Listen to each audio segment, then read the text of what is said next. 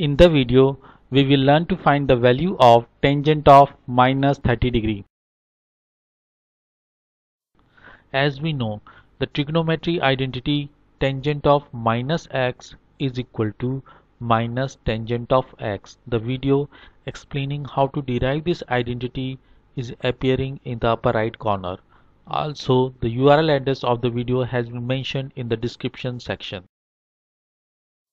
Let us apply the above identity for tangent of minus 30 degree. Here x is 30 degree. So tangent of minus 30 degree is equal to minus tangent of 30 degree.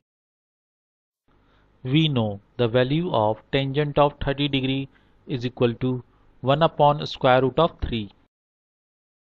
So we get the value of tangent of minus 30 degree is equal to minus 1 upon square root of 3.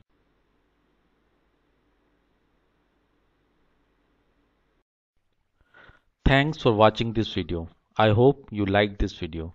Please press the like button if you like this video.